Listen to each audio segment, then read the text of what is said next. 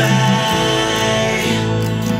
You didn't make the grade.